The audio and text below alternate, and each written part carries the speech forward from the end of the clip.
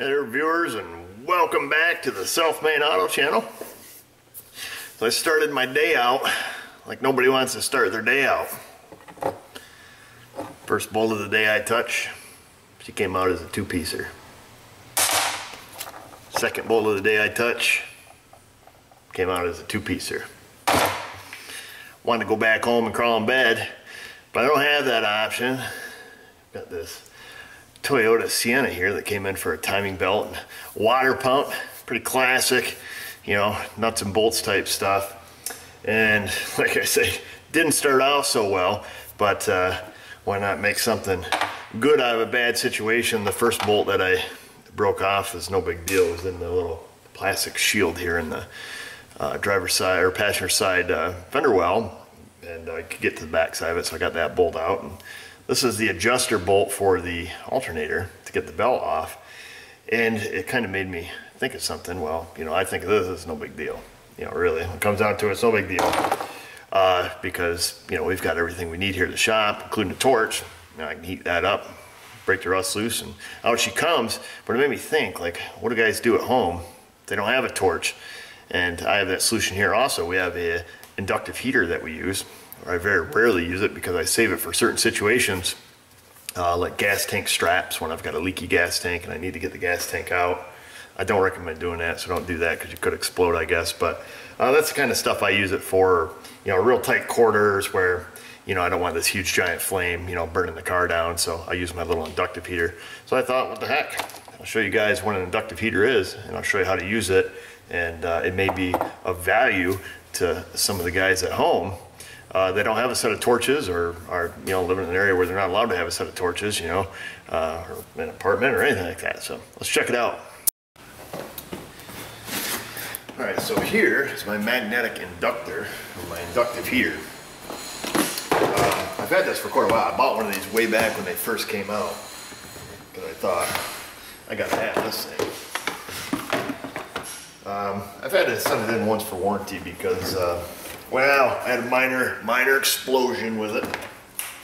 But here's what it looks like. It's kind of a big giant tool and uh, has a bunch of different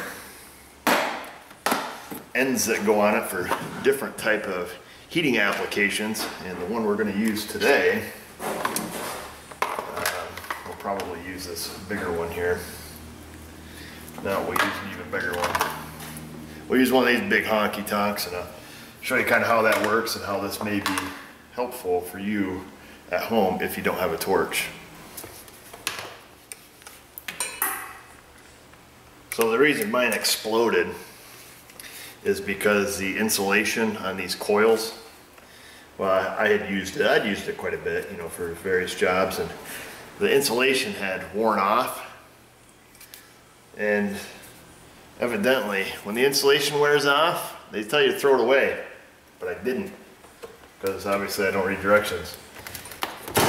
And then all of a sudden one day, the little wires they touched when I was pushing the magic red button and some little blue sparks, we'll call them, they shot out of the front.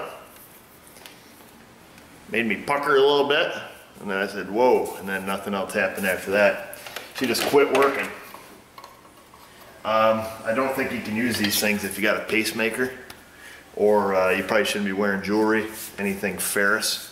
I really want to stick it around the camera and push the button, but we better not. You can hear it.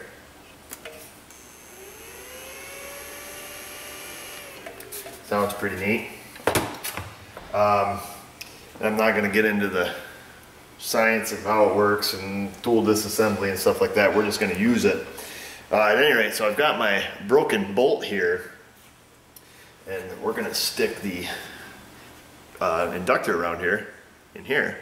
We're going to push the button. It's going to turn this little guy red hot, and then we're going to spin the uh, uh, broken bolt right up and out of there. Technically. In theory. I need a little break from this job anyways. Oh, Oh yeah, reminds me. Got got some Christmas. We're getting Christmas cards in the mails from our viewers. We've got more, more in the office. So if you guys are sending these, thanks a lot. They're pretty awesome. But you know me. Safety third, we better get our glasses on in case a little speck of rust explodes off this or the tool blows up. We'll get out some pliers. These shall do. Okay, E-high, here we go. I'm gonna bend this a little bit so I'm not all, not all jacked up over here. I'm gonna stick this on there, pushing the button. Pretty soon we'll see the smoke fly.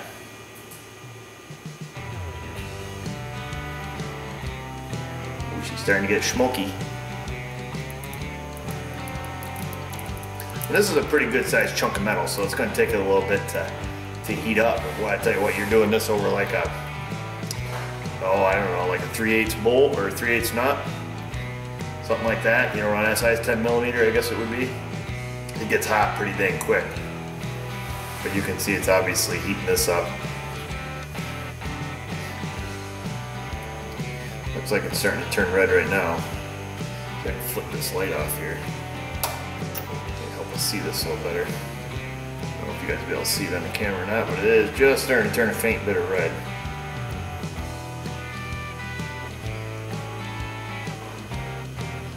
See it?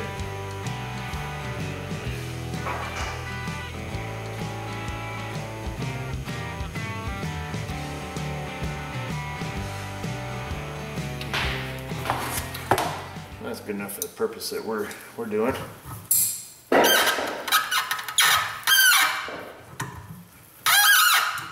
Kind of doing this the Polish way. Probably should be holding the block, turning out the bolt, but yeah, why don't we?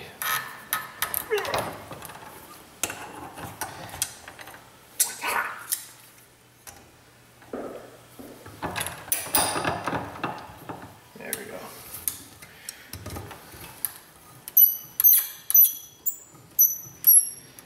You can tell by the smoke, it's obviously pretty hot.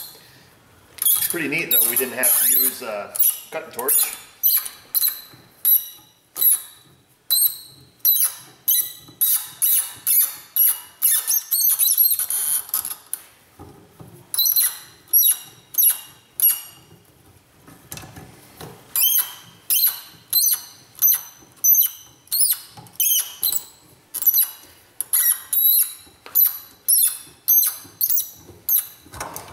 Full of tools and I'm here with a pair of pliers.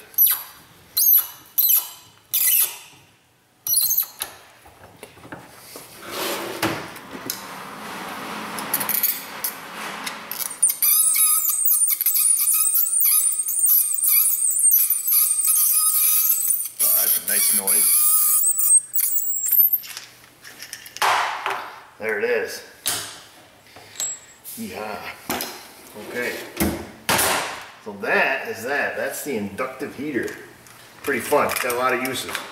Um, I can show you real quick on this small bolt, uh, the bolt that we just took out. It's what, an 8 millimeter bolt. I'll put one of these small coils in here. We'll heat that little guy up. That's what you're going to use it on mostly, is, you know, small stuff, lightweight stuff. Granted, this thing's probably already a schmidge toasty, but we'll stick it in here. I got interrupted on that last bit there. Customers always interrupting our YouTube videos. But we can see, just right now, look at that. She's red, just like that. Doesn't take long. You start doing this small stuff, boy, it gets, it gets hot real fast. And this is about the stage of red it gets to, right there. About as hot as it, about as hot as it gets. Um, let me see if we can grab a, I got a junk bolt here. That's cold. Okay, so this one here, this one's cold, so this would be a better experiment. So hang on, this, this bolt's stone cold. Start the timer.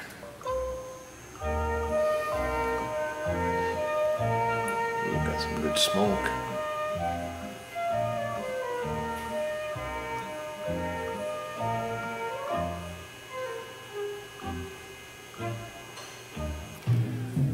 See that long takes to get to red hot. I don't know how, that, how long that was, but not very. How's that? I have no idea. There it is. So, yeah, so you can see why this would still be good. You know, wow, everything's smoking. Uh, you can see why this would be good at home. Or even in the shop. Oh my kidding? I love this thing. It's fun. Every time I get it out, I just start burning stuff up with it. Turn our light back on. So that's it. That's the mini inductor. Mini, mini inductor. I don't know as if they even make this one anymore, to be honest with you. I have no idea. Like I said, this is a tool I bought. I am not endorsed nor am I promoting this tool or its use. But it is a, a tool that I have that I've used. And it saved my bacon a couple times. Because as you guys know, we work on some rusty crap and you get something in and gas is leaking and, or it's in a in an area where uh, you know you don't want to go in there with a torch this can be helpful uh, sometimes I have found it actually takes uh, it takes a little more heat than what this thing can produce I guess and you wouldn't think that you know I mean if you get it red hot you think red hot's red hot that's gonna work but anybody that works on rusty crap knows that sometimes you need to heat it to like the melting point. Like right before it's gonna just blop off. That's perfect temperature right there. And you gotta know that fine line.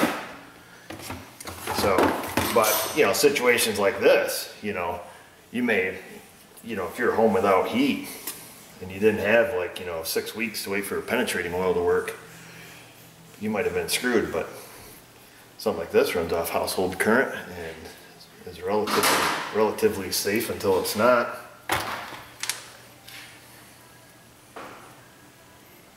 That's not too, bad. okay, we'll stick it in here.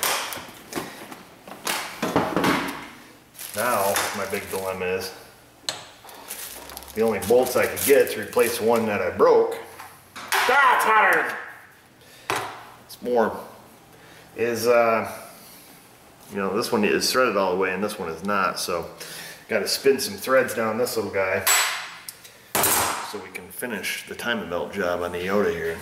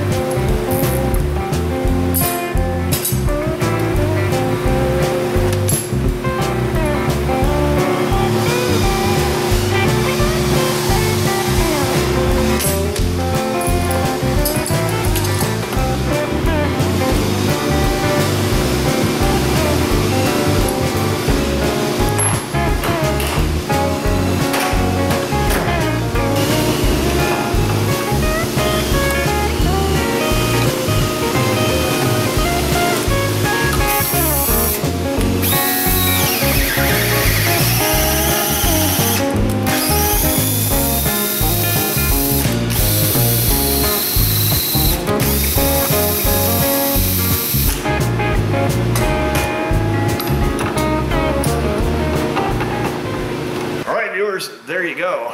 You got to see how we threaded the bolt all the way to the end. There's probably some machinist at home made a skin crawl. That's okay. Uh, it worked. Just lubed her up, zipped it in and out through a die, and now we got threads all the way to the end. Uh, you also seen how the mini inductor helped us heat up this big, uh, big chunk of metal here.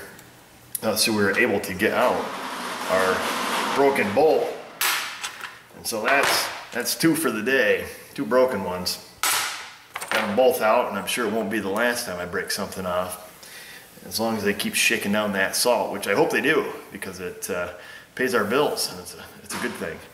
Um, at any rate, the mini inductor, it is not a cheap item, uh, unfortunately.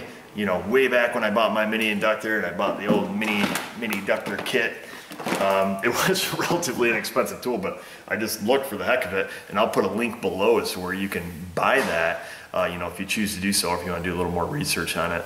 Like I said, I'll put a link below to the South Main Auto Store so you can check them out there and and uh, make a decision for yourself if it's right for you and at home and or maybe for even you guys in the shop. Uh, like I said, I've got multiple uses where I use it where it's, you know, semi-dangerous to use a torch. Um, at any rate, check us out on Facebook and Google Plus if you haven't yet, if you want to connect with us socially there. And just remember, viewers, if I can do it, you can do it. Thanks for watching.